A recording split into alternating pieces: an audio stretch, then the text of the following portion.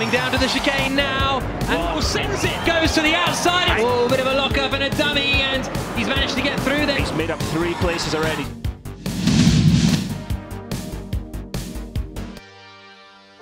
My best overtake in Formula E, I would say, has been in Chile against Mitch. When he was in the lead and I was in second. Had the last possible chance to overtake him with attack mode, and it was right inside and already in normal conditions on a push type it's a challenge to brake for this corner. When you do it around the outside of someone, it worked out and I got into the, into the lead of the race like this. In uh, Saudi Arabia for the first race, it was for the lead of the race as well. I was under a lot of pressure from, from Sam Bird behind and I knew I had to make this move stick. So I had a very late lunge we actually made a little bit of contact as well, but uh, hey, rubbing is racing in the end. In Buenos Aires in the first lap, I managed to overtake three cars in, in one corner. I was kind of lucky not to hit the wall, but uh, yeah, it was a good start to the race.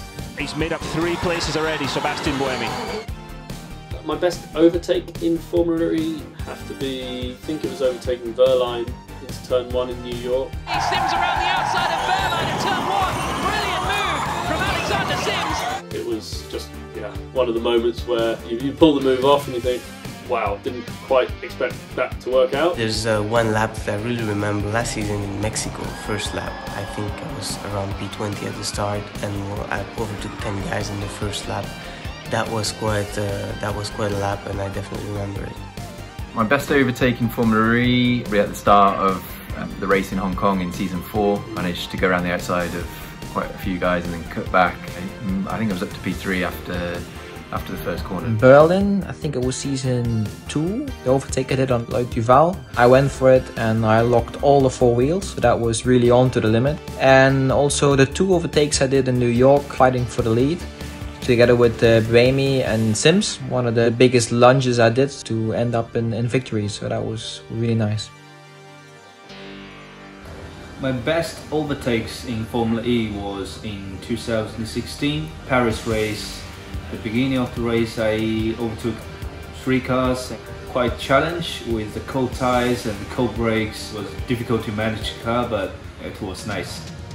My best overtake was probably the one on Felipe in Santiago. But the Mercedes right behind now.